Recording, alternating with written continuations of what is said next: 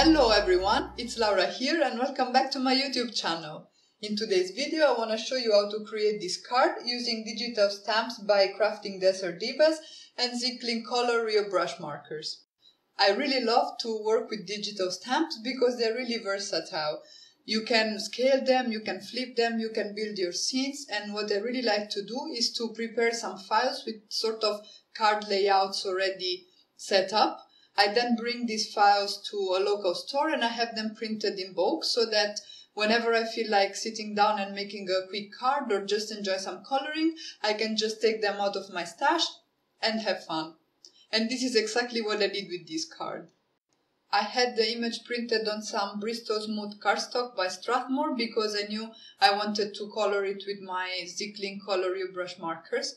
When I use these markers, I usually um, take two shades, so a darker shade and a lighter shade.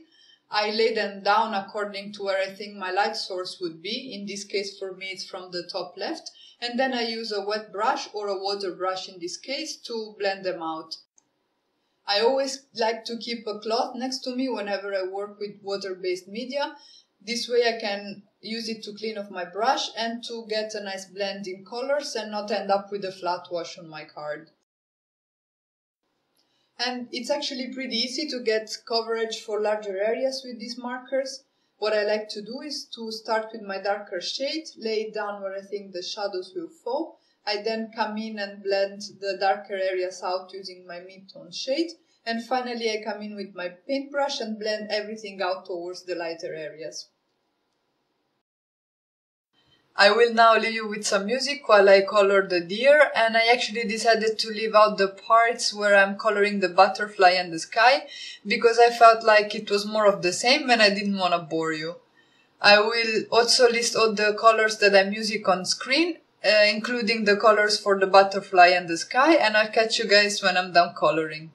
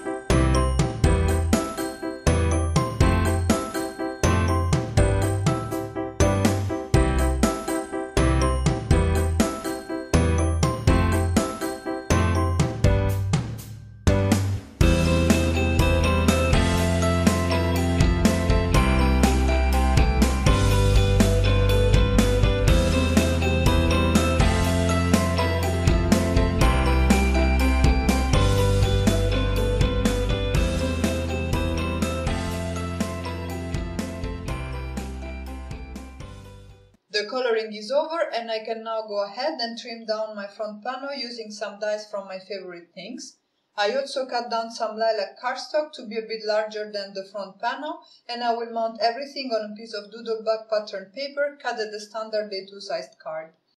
I'm using liquid glue to adhere everything in place because before it dries you have some time to move things around and make sure that they are aligned perfectly. And if you've seen my other videos, you know that that's definitely not my strength, so this makes me feel safe.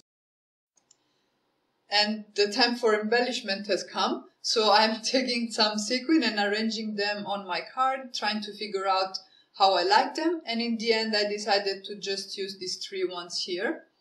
I will use some Ranger Multi Medium Matte to attach them to my card and this tool that has been part of my videos for like, I don't know, maybe two, three weeks now. So I feel like, you know, it's part of my channel anyway. After the sequin, of course, comes the glitter, and for that I will use my Spectrum Noir Clear Overlay pen. I will use it to add some shimmer to the butterfly and to the flowers. I also came in with my white gel pen to put back the dots on the deer and on its little nose. And that's it. That's my card for today. I hope you guys enjoyed this video and you found it useful. If so, please let me know in the comments below. You can also check out my blog for the full list of supplies and I hope I'll be back soon with another video. Ciao!